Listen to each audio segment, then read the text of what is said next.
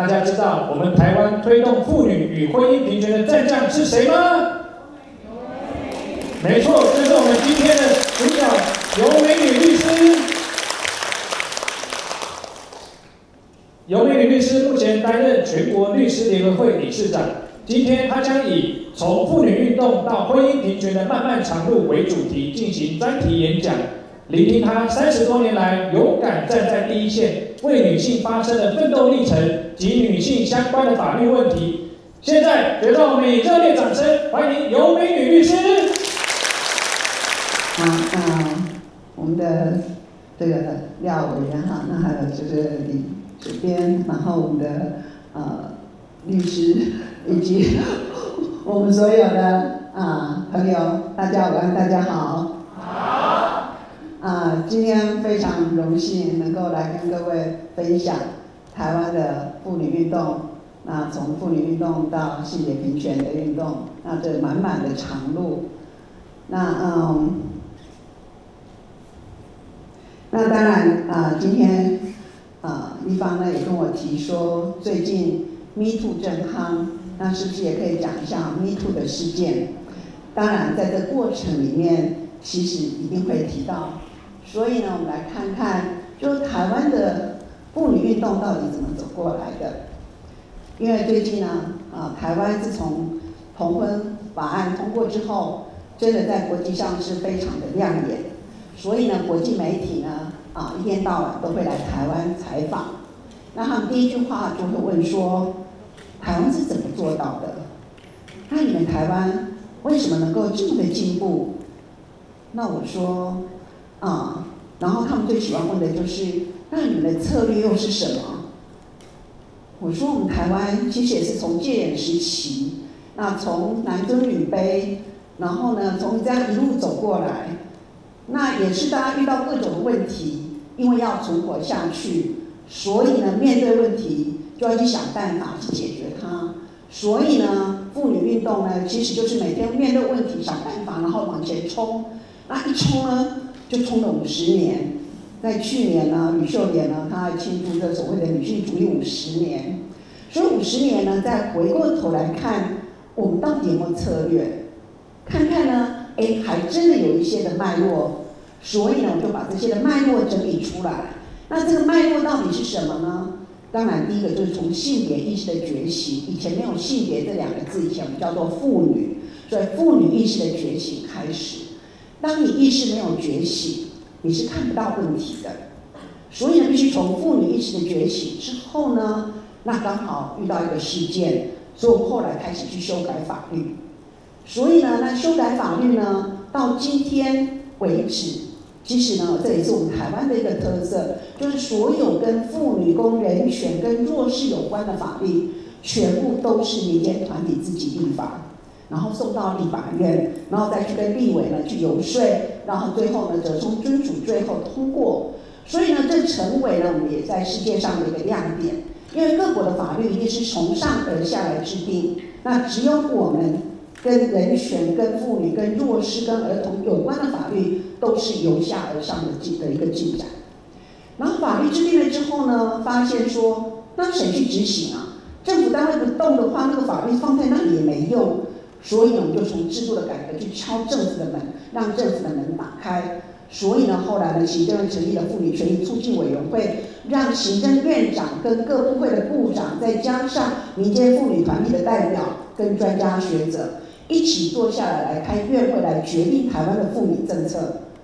好了，那妇女政策决定了之后，谁去执行？当然就各个部会列管。所以呢，这样子的效率就出来了。可是谁在提案？当然还是我们这些妇女朋友啊。可是我们妇女大家都是各有自己的专业，平常忙得要死，然后政府通知开会去，然后拿个两千块，可是又要讲什么？所以就变成你一言我一语，大家随便乱抛议案。他觉得说，既然在决定我们台湾的妇女政策，那当然应该要有体系，有这个进度。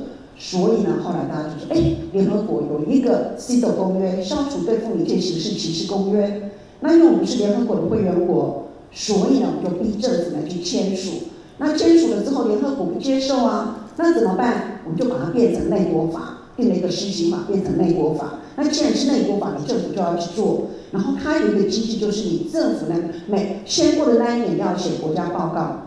那政府写国家报告一定讲说自己多棒多棒，然后呢民间团体可以去写底子报告，一定给政府出钱，对不对？吐槽吐槽，然后就说你什么没做到，什么没做到，什么没做到。政府说他做了一百分，民间团体说你不及格。好，那国外的专家呢？他们因为要送到联合国去，联合国不接受，那就把联合国的退休的专家请到台湾来，然后呢，他就先看民间团体的报告，然后去问政府说为什么民间团体对你这么不满意？然后呢，就最后呢，政府回答的不好的就写下建议，然后四年后你政府再必须跟我报告说你这四年做了什么，你的进展是什么？那用这样的方式来让我们的妇女的权利呢，能够一直往前进。所以我们才能够在两千年出现第一位的女性的副总统，那二零一六年出现第一位的女性的总统，然后我们国会的议员能够占有百分之四十几，那在地方的县市首长也都超过百分之四十几。那当然大家都说，那这样子我们不是女权太高涨了吗？不用担心，我们的行政院的女性的官员只有百分之十而已。所以你会看到有很多的东西，其实这一条路还是满满的长路。所以呢，这些呢，就是从女性意识的一个觉醒。那女性意识的觉醒，当然要谈到的就是从一九七零，我们是在一九八七年，民国七十六年解严。所以在一九七零年代的时候，还是在戒严时期。所以呢，我相信在座有些人一定跟我一样，你都是成长在戒严时期。出生在戒严时期，也成长在戒严时期，所以整个受的教育也都是戒严时期的教育。所以在戒严时期，实际上它的特色是什么？标准答案，所有的都是政府告诉我们的。然后呢，要讲的就是你能够为国家做什么，不能够问国家能够为你做什么。所以是只有义务没有权利的时代。所以呢，在那个年代里面呢，第一个就是我们的吕秀莲，我们前副总统，他开了第一枪。他在这个一九啊七零年代，就是民国六十年的时候呢，他写的第一篇的妇女的这个这个文章呢，就是女性的在传统角色的地位。李秀莲是我台大的学姐，法律系的学姐。你想法律人写的东西，他一定会什么？一定会碰触到权力嘛。所以呢，他在讲妇女的传统的角色里面，当然就是在讲妇女的地位的一个不平等。所以他的文章出来之后，当然就是群情哗然，当然赞赏的有之，然后批评的也有之。但是呢，他也就非常的勇敢，所以他就自己的力量呢，找了一些人，就成立了拓荒者出版社跟保护女专线。那大家一定很困惑，在戒严时期，我们所有的权利是被剥夺的，我没有集会结社的自由，没有言论的自由，没有宗教信仰的自由。所以在那时候，怎么有可能成立拓荒者出版社？怎么有可能成立保护你专线呢？那当然，后来发现什么？政政府睁一只眼闭一只眼，原来他的在拓荒者出版社的经理就是特务，然后呢，保护你专线是被渗透的，所以实际上他是二十四小时被监控的，所以后来当然就关起来了。那关起来之后呢，当然他就出国去了，到美国去了。那后来他拿了这个拿到哈佛的博士候选人的时候呢，刚好发生了中美断交。中当然是指中华民国，然后发现哎，这个讯息呢，台湾呢怎么样都没有讯息，所以他就问他的指导教授说：“那这样子，我是不是应该回去告诉我的同胞？”那指导教授告诉他说：“如果你继续留下来写你的论文，将来可能仍然是 nobody。然后如果你回去，如果你的国家需要你回去，也许有一天你会变成三万比。所以呢，他就毅然决然就放弃他的学位，就回到台湾来。”啊，参加了美丽岛杂志社。那美丽岛杂志社是什么？因为大家知道，在戒严时期，你只能看国家给你看的，所以呢，国家不能够看的就是地下杂志。地下杂志是所谓的党外杂志，那些是什么？要有人去通报，那你大概是可能会被抓去管送的白色恐怖，就是读书会啊，对不对？三个人在一起读书就可以被抓走。所以呢，在那样的一个情况之下呢，当然后来发生了美丽岛事件。那就是他们用在这个啊十二月十号人权日的时候，他们做了一个大型的一个聚会。那当然，我们没有机会结社的自由啊，所以被政报部队部队的整个包围。那当然里面也是有被渗透，所以大家要去想，美丽岛事件，去去看香港的反送中反送中事件，你就可以了解，那个大概就是我们当年的美丽岛事件。所以呢，事实上里面就被渗透，然后里面呢就是啊，就是有一些人就开始攻击警察，那当做的电视画面出来就是警察被打的头破血流，然后就是这一曲就是中共就是那种叫做共匪，共匪的同路人，然后就是要颠覆国家的，所以就开始呢抓大大肆的抓人。那抓人其实应该是在当时不在场的人，可是像林义雄根本没有去参加那个会议一样被抓，其实就是利用那个机会打击异己，整个全部都关起来了。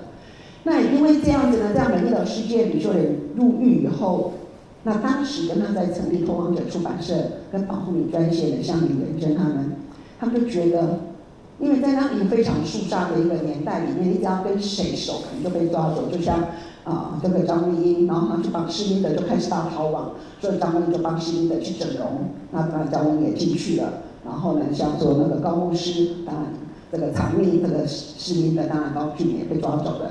所以呢，只要你有关系的，大家都会被被抓走。因此，在那一个肃杀的年代里面，这些人就在想，我们可以做点什么？他们就想到，我们要怎么样性别意识的女性意识的觉醒，来开一个杂志社。所以呢，那时候就成立一个妇女新知杂志。那妇女新知杂志，我一直很困惑，一直不敢问，说不是没有这个出版的自由吗？我们怎么能够成立杂志社？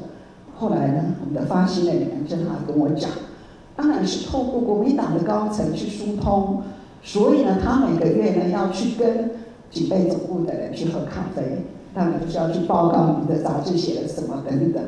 OK，反正不管怎么样，我们从头过来的也没有人被抓走，所以呢，那妇女新知杂志呢就是一个啊 V 五，我们知道 A 字的一般就是 V 五，V 五那个小小的黑白的杂志。所以你要把它放到市场上去卖，根本没有生意啊！所以每个月我们都在送去，然后月底又再搬回来。但是不管怎么样，我们反正就开始吧非常认真的去写。然后呢，到了一九八四年的时候，一九八二年就成立了《妇女新知》杂志。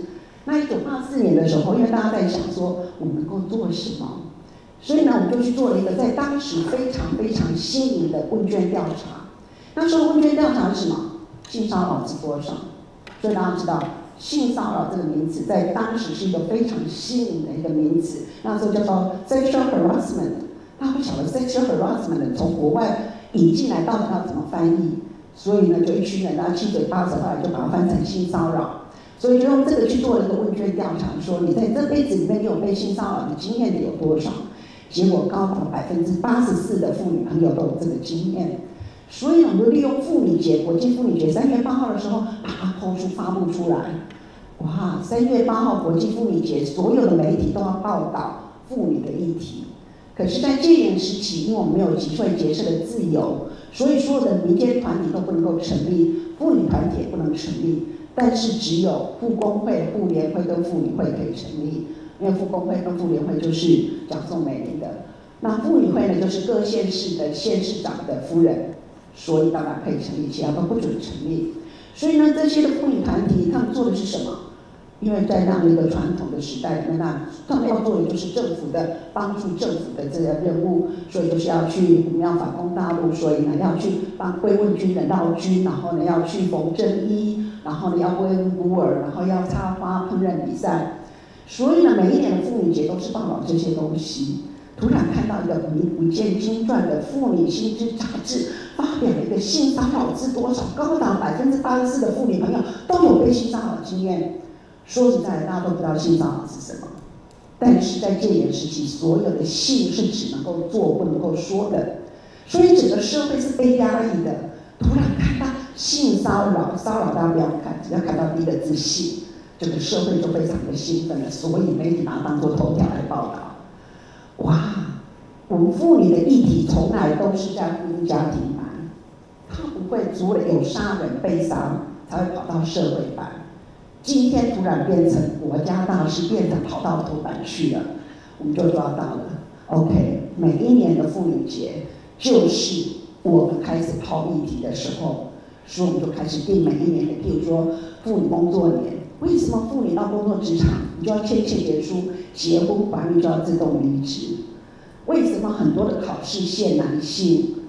那为什么然后妇女工作年，比如说哈，妇女家庭主妇年，妇女结了婚以后，所所有的财产都被先生所有，那家庭主妇的财产到底在哪里？或是妇女参政年，对不对？我们的宪法规定，妇女的参政保障名额十分之一，那是一个最低的门槛，跟它就变成最高的门槛，所有东西妇女就是十分之一。可是我们是占有二分之一的人口。所以呢，我就开始每一年把这样的议题丢出来，就定了一个主题，因此我们就称为丢炸弹。每年丢出一个主题之后，当它成为头版，我们就跑了。当然跑了之后，我们再去想明年的主题，用这样的方式开始让社会去发动社会去想想我们妇女我们的角色定位，我们的权利到底在哪里。所以呢，后来呢？当到了一九八七年，就是刚好解的那一年。那在这个之前，其实就在这个之前，我刚刚讲过，女性到工作职场，你第一天就会拿发一张切结书，老板就叫你签结婚怀孕要自动离职。所有的妇女朋友，大家都平安落美，真的就乖乖的回去。然后就是，其实最早的就是呃，第一次出来抗争的，其实就是实性，实性的这个啊，就是挤兑案。那后来实性呢，就由何库来接管。那实性呢？原来有规定说，你结婚还要自动离职，但是呢，公司会给你个红包。那后来实性挤挤兑了，那倒闭了，就何库来接管。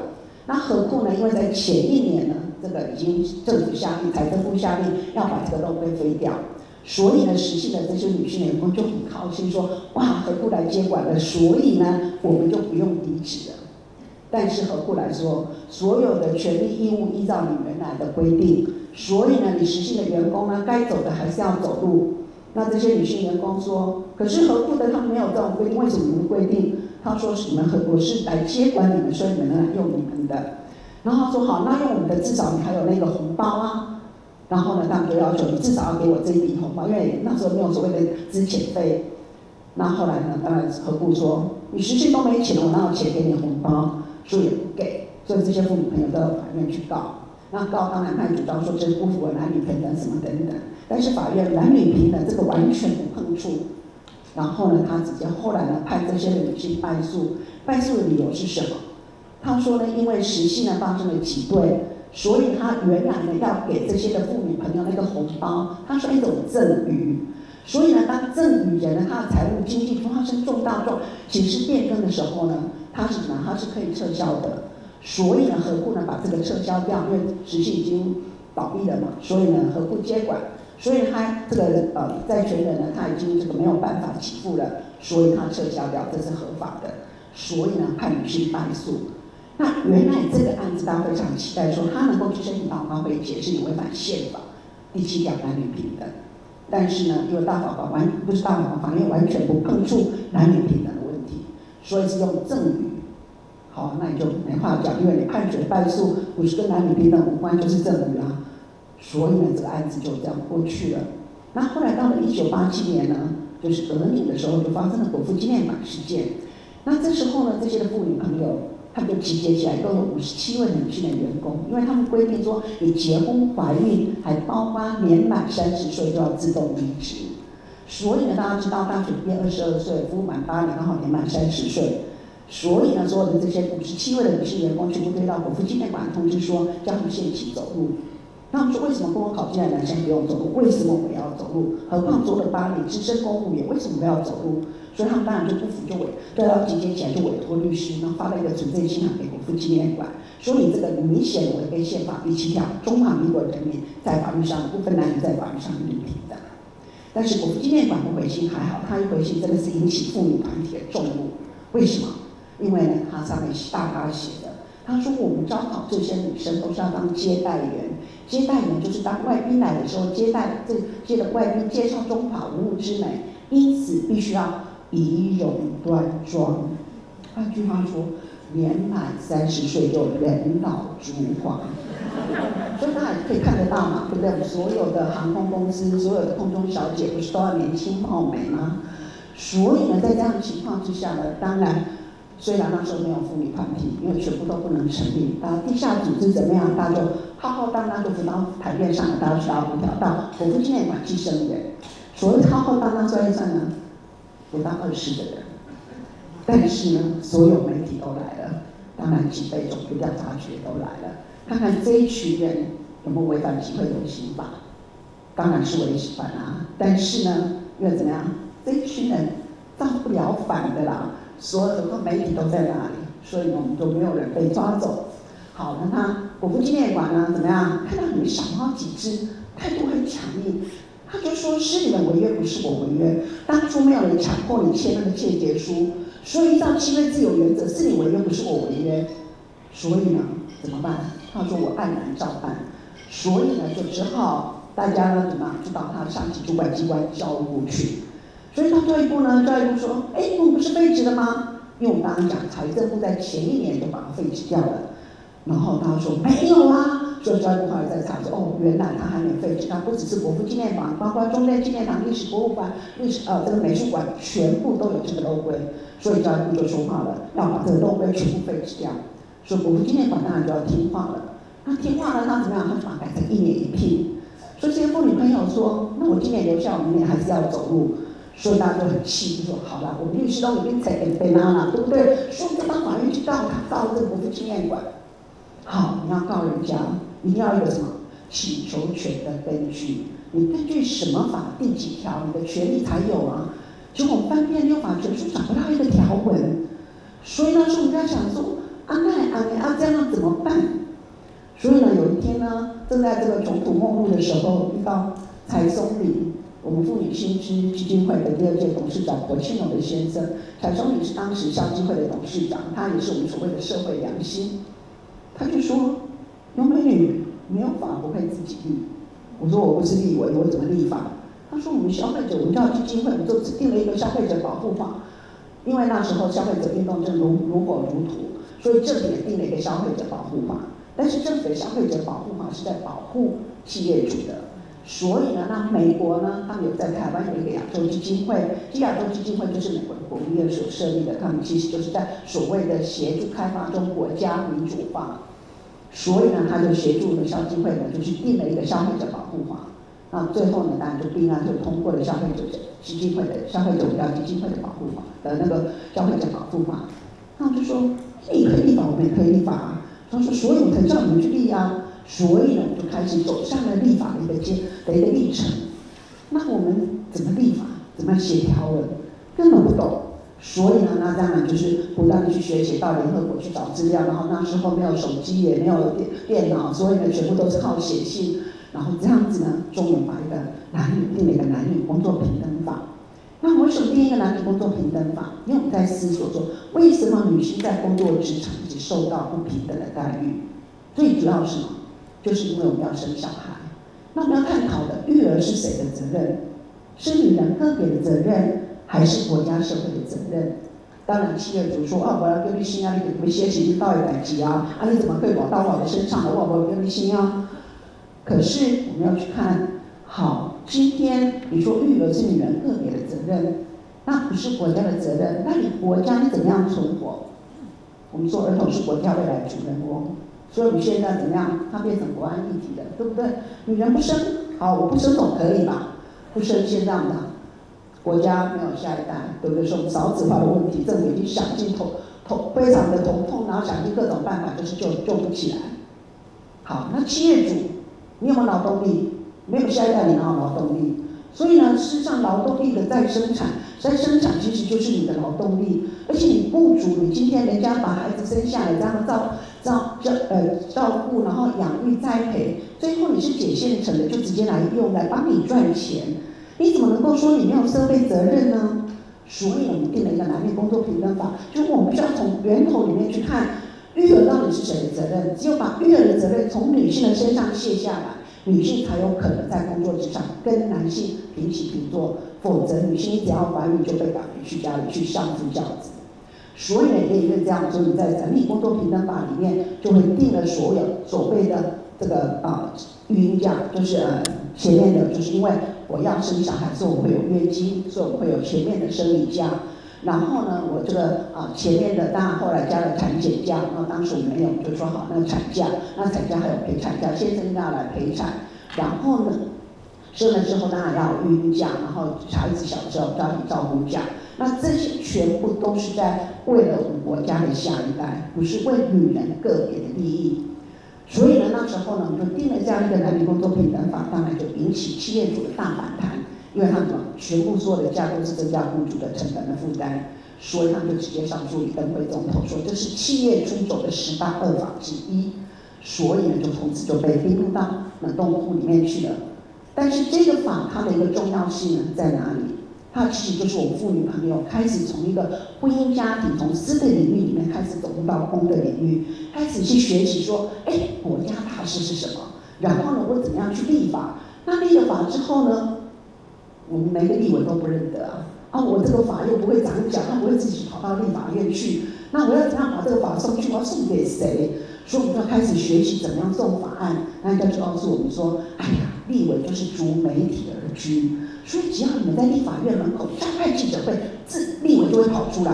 你说真的吗？哎，还真的嘞。哦，所以呢，然后那当然我们也是要私底下先去联络，所以我们就找当时的赵少康，跟那时候民进党第一次在立法院有这个啊这个的立委呢，就是谢长廷，他们两个人来帮我们主要的联署。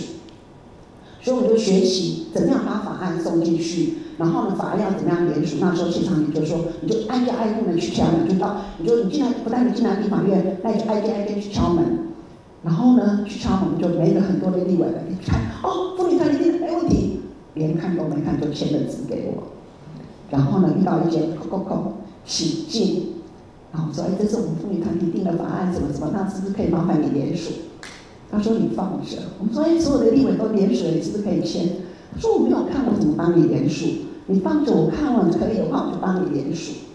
那时候出生之犊呢，我就觉得说，哈，你好拽哦！所有的立委都说，你看妇女团体好棒哦，立的法都跟没看就签你，只有你这个人拽什么拽？我们帮你立的法，你还这么拽？好，我出来以后就去找谢长廷，跟他讲说，哦，那个人是谁啊？怎么那么拽啊？他说，哦，然后没关系啊，他看了以后他就跟你联署。那后来当然他联署了。所以我就说我不再联署了，叫谢长廷去帮我联。后来联了三十八个。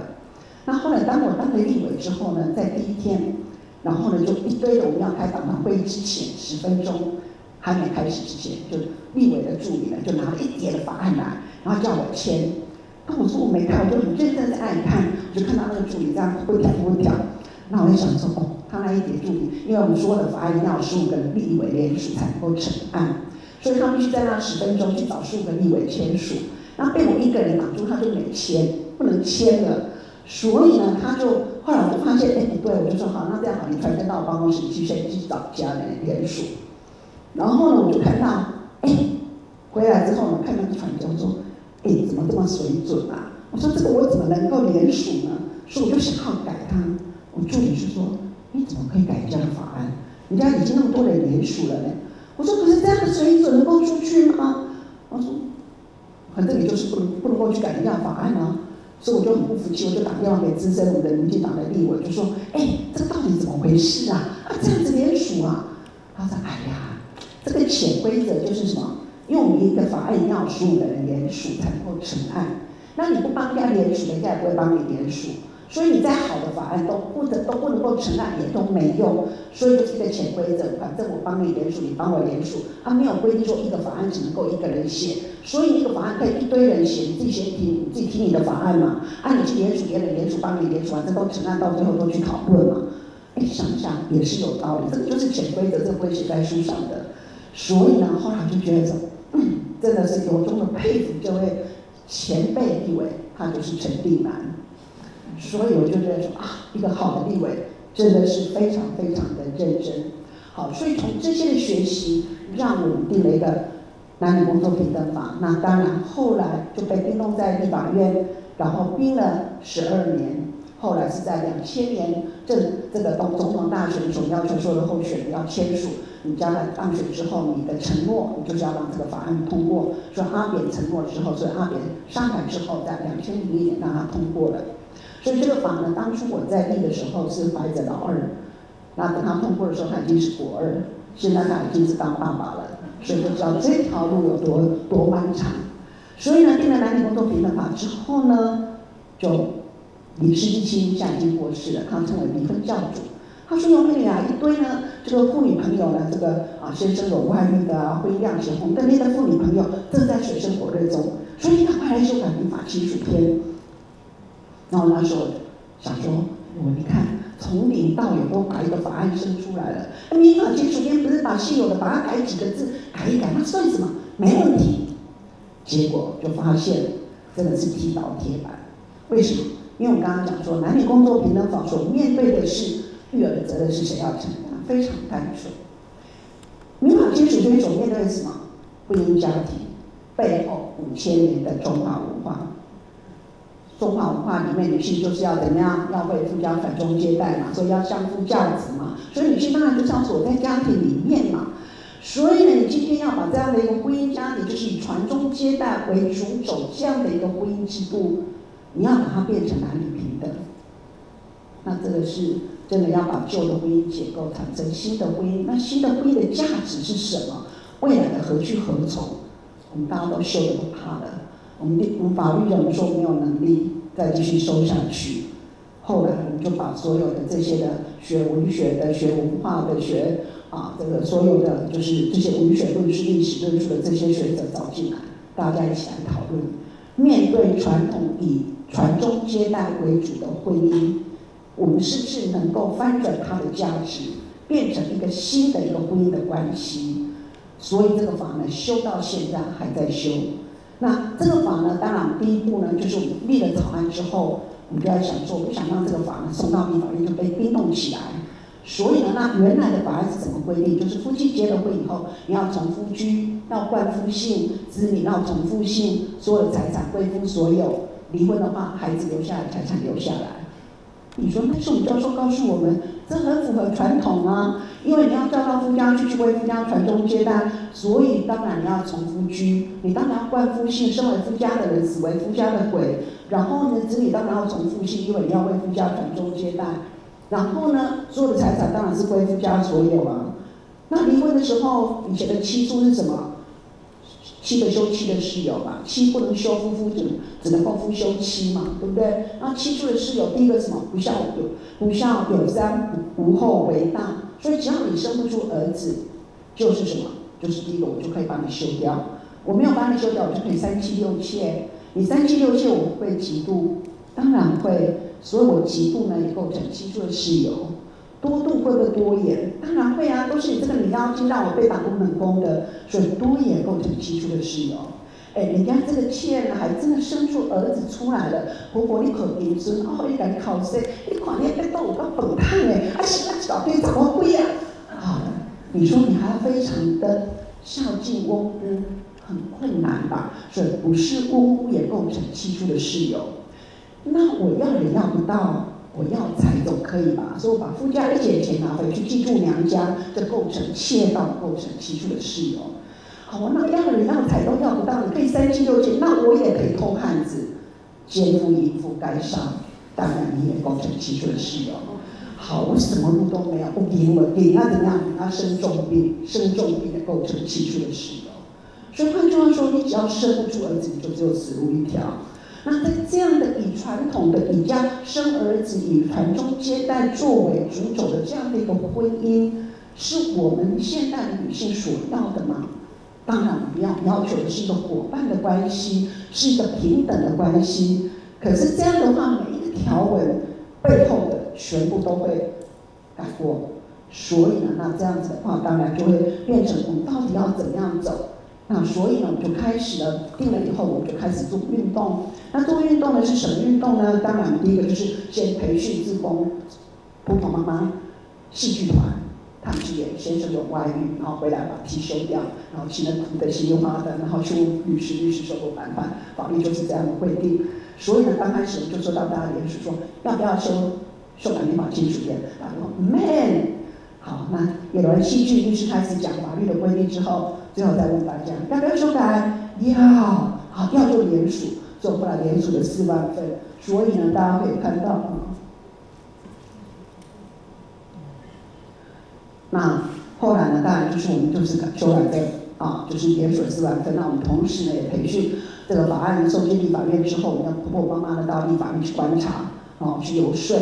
那另外呢，我们也就是所谓的上草山十位大法官，因为那时候呢，大法官第一次被国民大会的代表提，这个要被行使同意权，所以我就想到说，好，这第五届的大法官呢，他们一届九年，九五四十五，四十五年来从来没有做过男女平等宪法第七条的解释，所以我们就在想说，好了，现第六届的大法官，你今天要被行使第一次被行使同意权，所以大家都很紧张。所以我们就跟民进党在野党的国大代表呢，就结合起来，就说我们出了四个考题，请他们拿给这些被提名人，请他们去作答。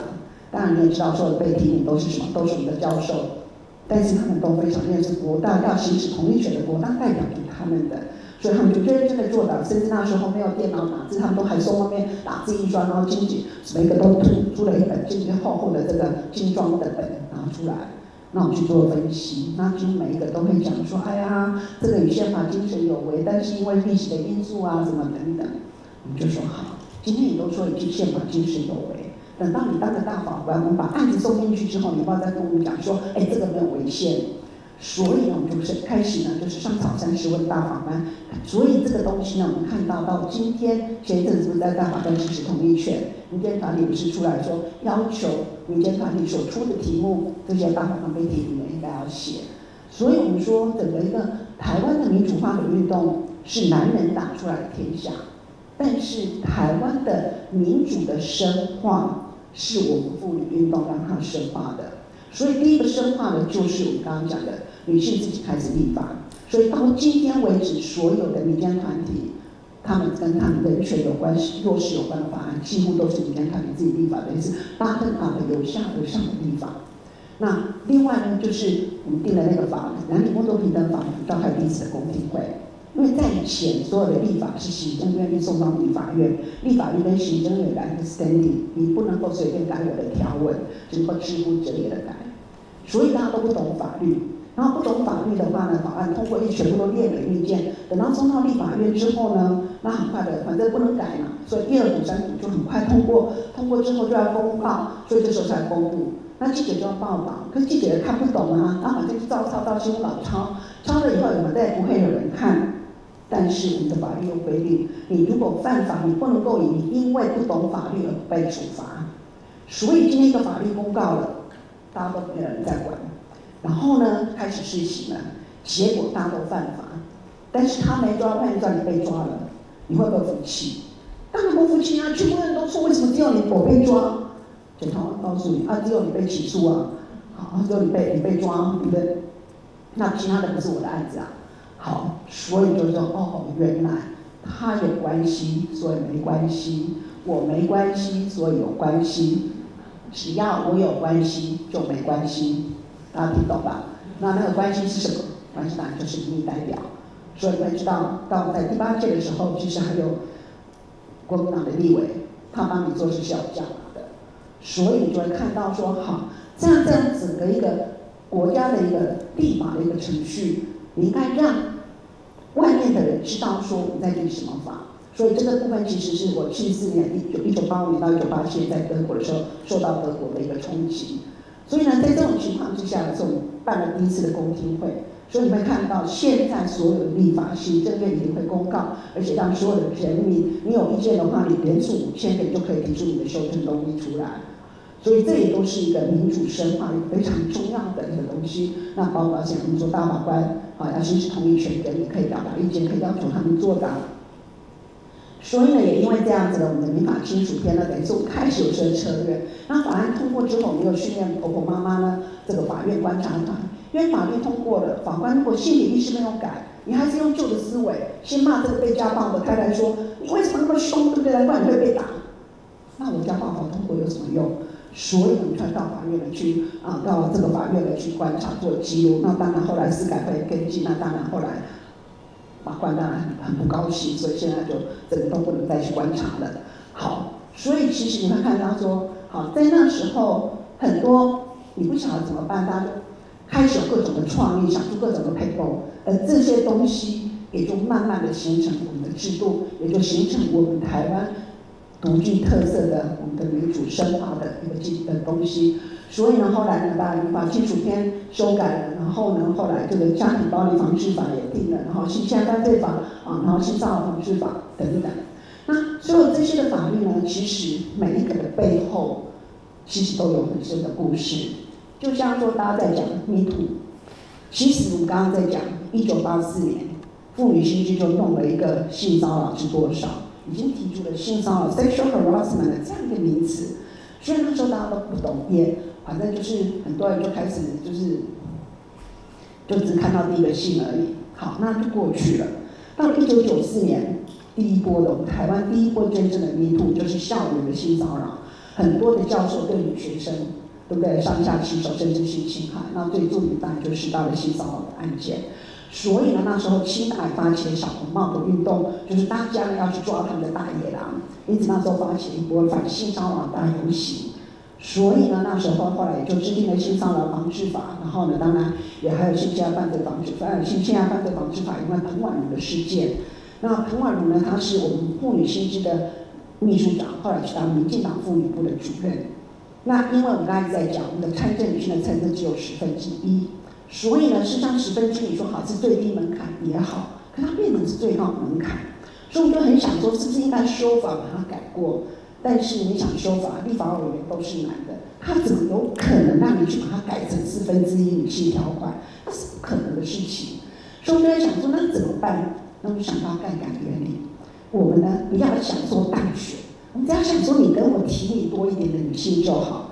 所以我就想说，我就找在野党、民进党，要求你在提名的时候提名四分之一的女性。好，在野党提名四分之一的女性，你说执政党国民党不跟进吗？不跟进太难看了啦。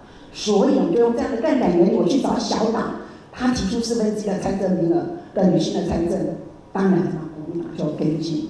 所以呢，很晚的那时候，就民进党妇女部的主任，他去奔走，然后呢，就是那一天晚上在啊这个圆山饭店呢在奔走，后来到十一点多，他回到他饭店的时候，大张精神就不见了。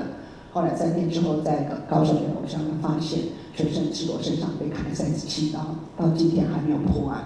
可这样的一个事件，真的是引起妇女团体非常非常的愤怒。现在回想起来，当时大概整个月，我们几乎每天都要开记者会。那开记者会时，我们当然是对这个强烈的诉求，要求召开全国的治安呃这个妇女的人身安全会议。当然后来召开了，但是后来就变成妇女的啊全国治安会议。你知道全国治安会议跟妇女人身安全会有多大不同？全国治安会议包括抢劫、强盗、诈欺，对不对？伤害全部都是治安的问题。但是妇女人身安全那不一样啊。结果妇女团体代表只有三个。所以大家非常的愤怒，一直在当时是在那个啊，就是国立图书馆，就是中山南路的国立图书馆召开。我们就在行政院门口丢了两千一百六十八双的鞋子，标题叫做“鞋子的鞋”，然后另外一个 “blood” 血，还我两千多人的这个女性失踪的女性这么多人，为什么你政府不重视？然后呢，那时候只有三个人，就我，省委政救委员会，然后陈秀慧就是主妇联盟，那我那时候代表妇女新知。我们三个人就偷拿一个布条，然后你就进去。那当时一个人只过三分钟就抢着去登记，那我们就讲好，三个人三三九九九分钟，所以足够把我们的诉求讲完。那另外两个人拿布条，结果呢布条一拿出来，警察就冲过来，然后媒体就开始造。那所以所有的运动呢，在关键时刻都会有一个关键的人出现。如果他能成功的话，那那个关键人其实就是国民党。那时候行政院长是连战。然后呢，是行政院长主持，但是国民党的中常委林承之，然后呢，他就跟院长讲说，让他们讲完，太难看了，所以后来就警察就退去，然后我们就把他讲，就要求行政院成立妇女权益促进委员会，要求通过性向犯罪防治法，要求通过家庭暴力防治法，要求设立儿童局，要求教育部成立性别平等会，好。那原来这种大爆弹，其实结论早就写好了，所以原来院长照原来的结论讲，也被你成绩挡下来，休息一分钟，五分钟过后照单全收，我连我们自己都不敢相信，但是呢，因为这样子，所以我们开始进入到所谓的国家主义的女性主义，等于是行政院的门开了，成立了妇女权益促进委员会。然后院长到召集人，把妇女团体、专家学者跟部长跟院长一起开会。所以呢，我们开始从彭婉如事件之后，我们进入了所谓的啊国家的体制，然后开始去制定这样的一些的法律。那当然后来就是刚刚所讲的，我们后来再定了这个公约。所以呢，就是我们整个一个妇女运动这样走过来。所以呢，像说这个啊家庭暴力防治法也就登陆了沙福案啊，然后呢刚刚讲的啊这密度的性骚扰的这个案子，后来定了性骚扰防治法。那新下犯罪防治法就因为彭婉如的事件的发生。那另外呢，就是因为叶永志的事件，他在校园一个小男生呢，他因为他是比较阴柔个性的，他在校里面受到霸凌，所以他不敢去上厕所，因为去上厕去上厕所就是在厕所被男生围起来，然后脱他裤子，做夜灵正身，所以吓得他不敢下班时间去上厕所，所以就只好利用下课前十分钟去上厕所。就有一天他去上厕所之后就没有回来，下课的时候学生冲到厕所去呢，全部惊叫，为什么？看到他一个人躺在地男生厕所地上血泊。然后呢，当然校长慌了，然后赶快来报报警啊，然后呢叫救护车啊，然后呢就把他们送走了。然后校长想说啊，孩子送出去了，送到医院去了，那应该没事了，所以就让学生用水把那个血迹冲走。一冲完电话回来说他走了，好了，那现在急诊都不见了，然后你打电话给家长说你的孩子死了，怎么死的？不知道，怎么有可能不知道？学校不是就我儿子一个人？但是真的是不知道怎么死的，所以呢，那当然，对不对？你总要一个交代嘛。后来交代就说啊，对不对？因为在他躺的地方的那个上面屋顶的漏水，所以地上有青苔，所以他是不是下下课前十分钟去上厕所，冲得太快，所以滑倒，所以滑倒的头部去撞到便盆，一遭毙命，高科林。所以呢，那后来当然就用这样的理由呢，把总务主任、把校长就起诉，就公共危险起诉。可是后来到地院的时候，当然就要鉴定。鉴定发现说，他躺的地方那个他躺的位置呢，跟那个什么，跟那个掌心该还有一段距离，所以没有相当因果关系。所以校长跟总务主任就没事了。那没事，我的孩子死死掉了，不用有人负责吗？所以呢，那当然呢，我们后来妇女团体就协助他去募款，然后我帮他找律师，然后又在上诉。那当然后来到最高法院在发会，然后最后确定，当然最后。还是用公共危险确定，可重点不在这，重点是在于说他在学校里面长期受到霸凌，为什么学校不处理？所以这才是重点所在。所以也因为这样子，所以制定了性别平等教育法，要求校园里面的性骚扰、性侵害，还有这些校园的霸凌，学校都必须要介入处理。所以呢，你就会看到说，好，我们在工作职场受到老板的性这个性侵害或者呃这个性骚扰。那当然，老板要去处理，老板要提供一个友善的一个工作环境。那如果你在校园里面呢，受到性骚扰，你剥夺掉你的受教权跟你的身体自主权，所有的学校即刻的去处理，要去调查，然后对老师或是对学生做惩处。那如果说好，他不是在工作职场，因为在工作职场中被剥夺的我的工作权，再加上我的身体的自主权。那如果不是工作职场，也不是校园。那今天是在一个公共的场所、公共场域，那谁来负责？那就是剥夺了我的身体的自主权，所以就是所谓的场所主人要去处理。因此，我把这些法都制定了。那你说，那这些法都制定了，为什么现在还发生第二波的密兔呢？因为土法不足以自行，所以现在有法律在那里，然后你上了很多的课，然后呢，教大家要怎么去调查。但是我们看到这次最大的问题，其实是在于。我们没有在第一线去撑住被害人，因为我们刚刚讲说，哎呦，这个你要不要申诉什么？他都完全没有准备好，他吓得半死，他根本不知道怎么办。你要叫他申诉，他怎么敢去申诉？所以呢，主管就说，因为他没有申诉啊，所以这件事情就结束了。可是对被害者而言，那个阴影一辈子的存在，所以后来他们最后都要去看身心的、身心的这个医生。然后十几年，那这一部是因为有人选之人的这样的一个电视剧，然后大家看到那句要给大家很大的鼓舞，所以形成一股力量，让这些人大家能够讲出来。所以你会看到几乎各个领域全部都爆出来。那我觉得这是一个好的现象，让大家已经存在。虽然他的目的不见得是要对把对方能够绳之以法，因为实上很多都做了告诉期，但至少他能够讲出来，社会能够肯定他，这也是一个疗愈的一个过程。同时，也在让大家重新去思索男女之间的界限然后每一个人能够去尊重每一个人的身体，这是一个非常非常重要。所以我们说这一波的密度其实是一个文化的一个反省，跟人跟人之间的一个尊重的一个非常的一个反省，而不是一个法律制度的建立。因为其实我在前面法律制度早就建立了。那另外一个我在深思的，就说我们是不是只能够事后，然后非常恐惧的，然后不敢讲出来？我在想说，我们是不是能够在第一个时间，我就有能量能够说 no，或是我能够有一个反制的方式，让你知道你是错的，但是我又不会让大家太尴尬。譬如说，哈，今天大家在对不对，在一桌酒酣耳热的时候，大家就是，然后就有人就就旁边就把你搂搂抱抱的，你挣脱，对不对？全部大家都嘻嘻哈，当然有人也看在眼里，可是不会有人替你讲话，所以你这时候要讲很生气，说你怎么样的时候，这个气氛已经坏掉。你也不想要去当那个，最后大家觉得都好无趣哦。你不想去当那个人，可是那个人又像橡皮糖一样一直纠缠着你，那你怎么办？所以我们就要讲说，我们现在应该要来培训这个课程。我能够用一个方式，怎样把你推回去？可能你会去滑倒，对吧？你会一个踉跄，或是你知道你错了，但是呢，我笑嘻嘻的，对不对？然后别人看懂的看在眼里。没看到的没关系，反正我没有把气氛弄坏。但是我已经给那个加害者什么一个苦苦头吃了。那这个东西是需要训练的，因为每一个人，但我相信大家一定都有那种下班的经验。那这些人为什么不敢？里面其实不乏包括女性主义者，但是他为什么在那个当儿下班了？因为我们传统的教育告诉我们。一个好的女人，一个淑女，就是要，对不对？要非常的有礼貌，你不能够犯上，你什么事情都要好好的讲，否则你就是坏女人。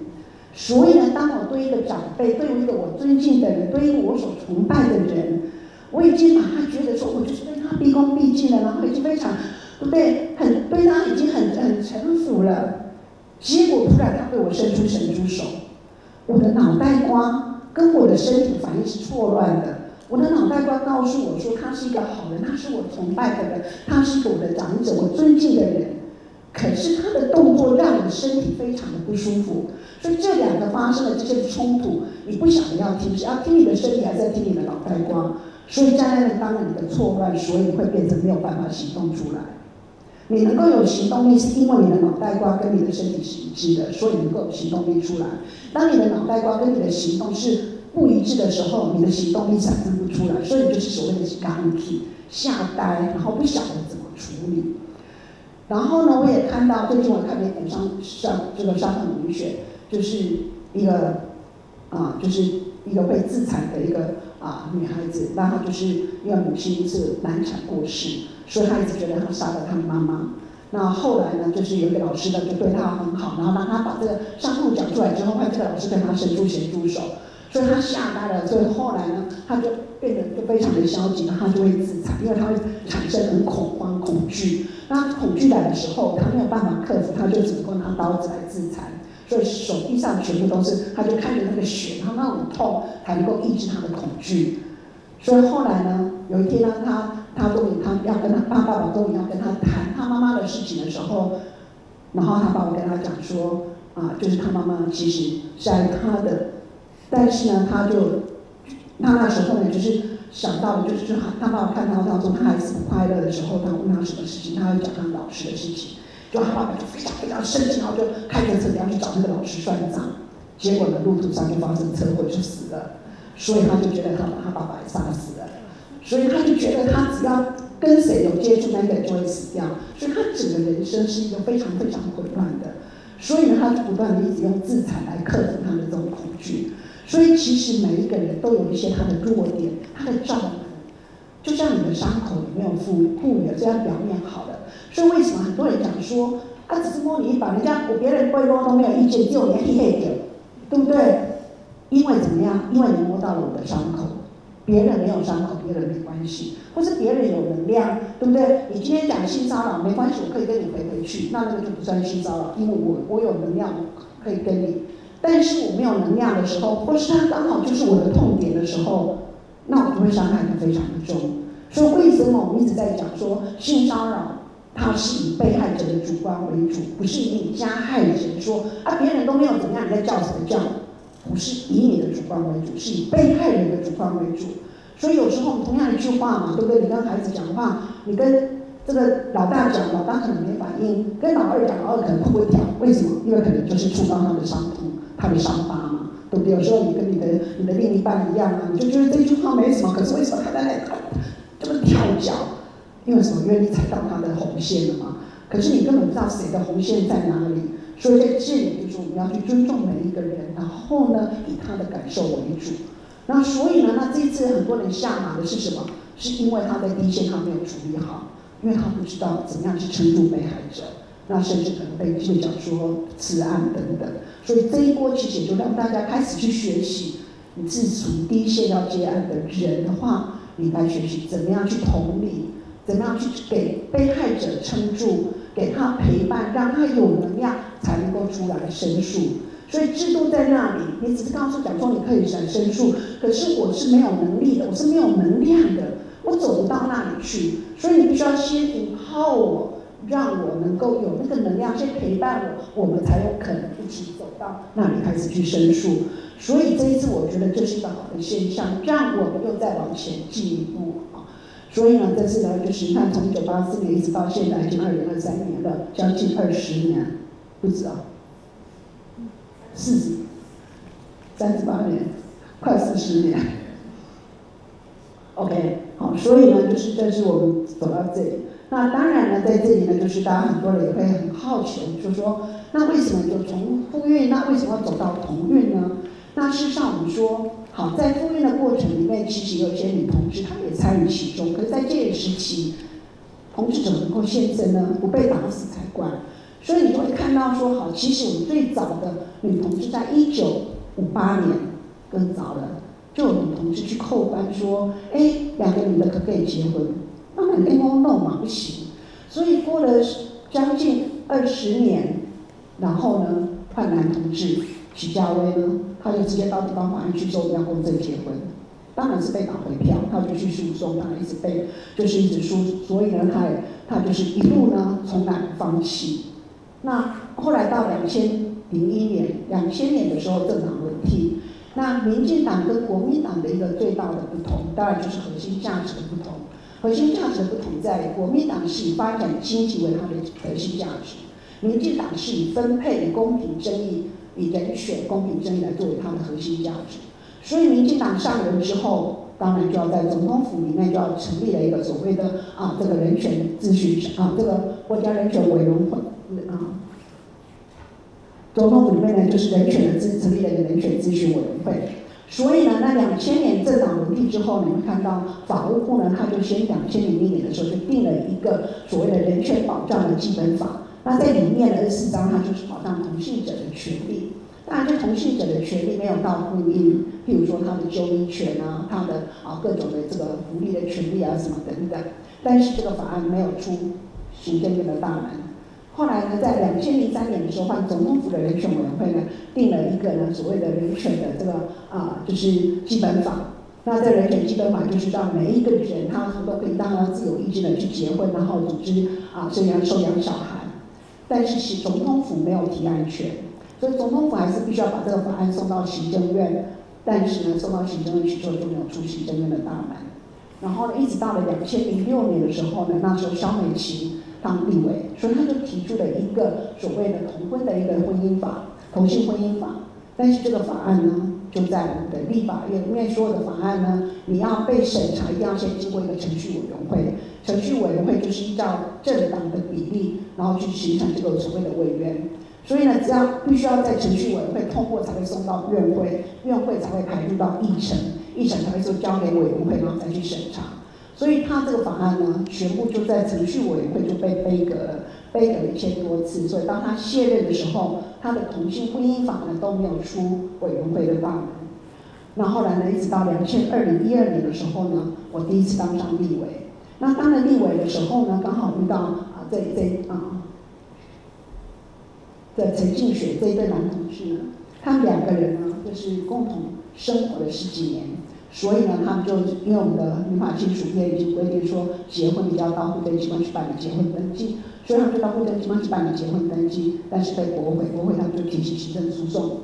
那行政诉讼的法官呢就说，哎，这可能牵涉到基本人权，所以法官呢要停止诉讼，把送大法官会议解释。但是他就很害怕，因为那时候的大法官的组成是比较保守一群的组成，所以他就很担心说，那万一大法官三年下就把我讲说没有违宪，那明天他已经在酝酿说我们是不是要推同婚的这个立法的这条路呢？所以他们就很害怕，所以他们就跑到立法院来，然后希望能够支持他们，所以我们就帮他开了一个记者会。那当然记者会开完之后，其实一般的立委在记者会开完就结束了，大家就已经交代了。但是我在想说，是不是应该做点什么？所以后来我就提了，就把民法亲属篇里面婚约要有男女双方当事人订定，我们把男女把它拿掉，就婚约要由双方当事人订定。所以双方当事人都没有讲男女啊，所以只改了两个字。他觉得说一个法案只有两改，修改两个字，只有一个条文，好像不太像法案。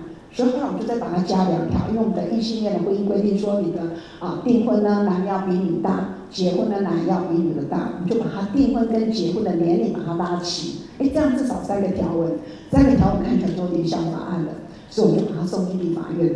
哎，真的就通过了程序委员会，因为在它太不像跟同婚有关了，所以呢，好，那立法院呢就是通过程序委员会，然后又到到这个院会，那院会呢也。没有人主导，因为事实上院会是任何一个人立呃立委，只要联署或是政党，不用立复理由就可以把它拉下来。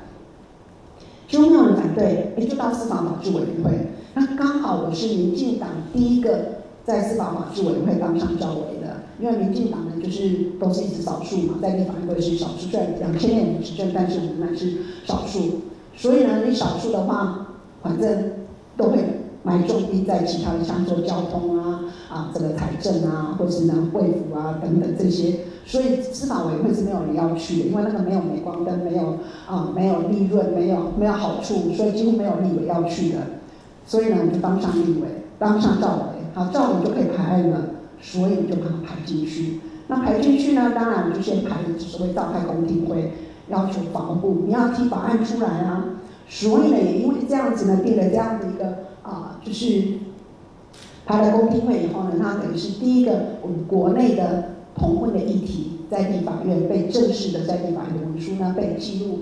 那后来呢，到二零一三年民间团体，我刚刚讲很多的法案跟民间团体会自己立法，所以民间团体他就定就提了一个啊所谓的这个啊法这个他们就提出他们另外的一个民法亲属篇的修正，他们就是把改名称，就是配偶夫妻改成配偶。父母改成直系血亲，然后呢，兄弟改成旁系血亲，那用这样的方式，所以这个马上引起非常大的一个反弹。那这个反弹大家就开始开听到的嘛，从此没有爸爸妈妈，没有这个兄弟姐妹，没有这个夫妻啊，所以就引起非常大的反弹。之后呢，当然就是啊，同志的这边开始组成一个伴侣盟，那反同方呢，当然开始组成了一个互相盟，所以两边就开始对垒了。那当然对垒之后呢，当然到了的这个二零。一四年的时候呢，那我要再把它排进去，但是国民党就背了，他们就全部连签到撤签，所以就变成全部都缺席。那其实只要有五个立委签署签到，三个立委在场，我们就可以开会。但是民进党连五个立委在司法法制委会都没有，我们只有四个。所以呢，那国民党全部都不签到的话，我们就只好留会。所以那天主席就哭坐在主席台上呢，一直等到十二点，然后只好留会。那因为二零一四年你没有排进去之后，二零一五年大家全部都在准备选举了，因为二零一六年二月就一月底就卸任了，所以这个法呢就胎死腹中了。那到了二零一六年的时候呢，刚好啊，我们就发生了这所谓的毕安生的事件。那毕安生呢，他其实是啊我们。民进党时间好，帮我注意一下时间，OK。好，那嗯，他其实是我们这个啊，第二生他是法国的教授，然后呢，他跟台湾的一个同志的两人共同生活三十几年，后来呢，在台湾的同志呢就是生病过世，那过世之后呢，他们两个共同买了一栋房子，他当然就被赶出，因为他不是继承人。那他当他生病的时候，他还不能够帮他签署手术同意书，所以呢，后来当然就是。非常外面聚会，那他就自己就就自杀了。所以自杀这样的事件，虽然说很多的前面有很多这样的案例，但是因为它刚好发生在二零一六年政党轮替，小英总统当选。小英呢，在这当选之前，在选举之前，他要写说我支持同婚。然后呢，那他上任五二零上任之后呢，他一直没有动作。那这时候十月同同志大游行。所以他们这时候这个案件呢，就被在媒在 FB 上被揭露出来，所以所有的同志呢，大家都非常的生气。所以这时候呢，必须要应应呢。所以呢，因为小丽在那时候呢，也就是写说我支持婚姻平权，然后呢，甚至民进党用民进党的名义呢去呃支持，就是同志大游行的时候去参加。所以呢，那在这样的情况之下，民进党的这些所有的立委当什么开了几次的记者会，说我们要提出呢同婚的啊推动民法修正案，就提出同婚法案。但是大家注意到，同一天，国民党也通过许玉仁立委也提出他的民法修正案。那民法修正案就是我们刚刚所讲的民间团体所提的修改民生的版本。时代力量他们人数不够，但是他们通过党团也一样提出修改民生的那个版本。所以你会看到三个政党同时在一天开记者会，提出民法新书编的修正案，支持同婚法案。这个意味着什么？意味着大家都嗅到了时代的潮流，大家都要想去抢那个 credit。但是，好这样的一个开了之后呢，当然反同方就是反对同志的这些的宗教团体，他们非常非常的恐慌，他们觉得好像那个法律的一一天就会过去了。为什么？因为依照我们法律的规定呢，就是你如果联署了，你就不能够去主张跟你相反的。所以你去看司法法制委员会所有的这些的立委，不是联署我的，就是联署徐玉仁的。那你那时代力量没有立委在司法法制委员会，所以那除了什么？除了党鞭，但是党鞭几乎国民党的党鞭跟民进党的党鞭几乎不来开会的。所以难怪他们会那么的恐慌，所以他们大集结，然后呢就说绝对不能够通过，所以要求呢怎么样？所以后来就变成他们就提出了说所谓的要召开这个啊就是。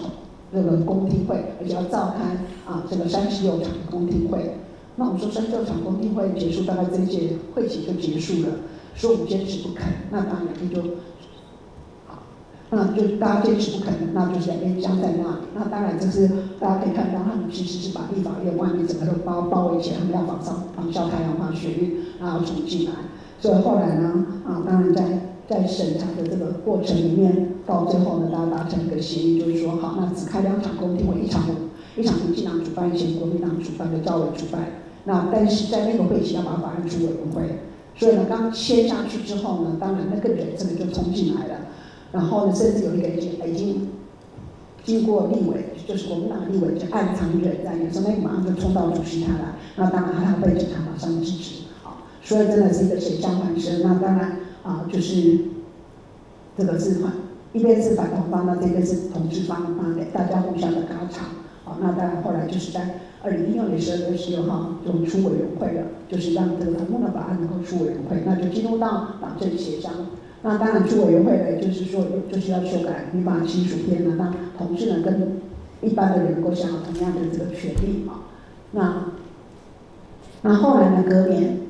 大法官做的解释，自己办法解释。那大法官做的解释是什么呢？他就是因为反同方他们主张说，啊，同志跟一般的人不一样，就在于他不会生小孩，所以呢，这是违反婚姻的本质。